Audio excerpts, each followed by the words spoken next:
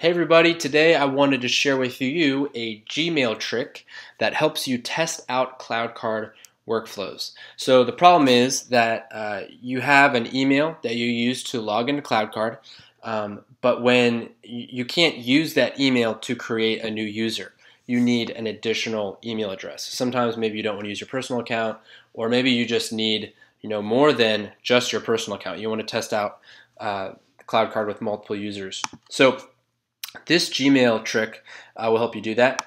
So this is my luke at sharptop.io address. Um, I know it doesn't look like a Gmail, but it is.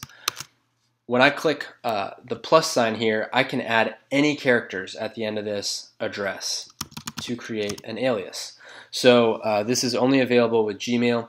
Um, but when I click save here, what this is going to do is going to create a user within CloudCard, and it's going to send an email to luke at sharptop.io. So I clicked save uh, and I'm gonna go over to my email inbox and here's that email that just got sent uh, to me. So coming from Luke plus 46573, here's the, uh, the welcome email and then of course it landed in my luke at sharptop.io address. So really helpful.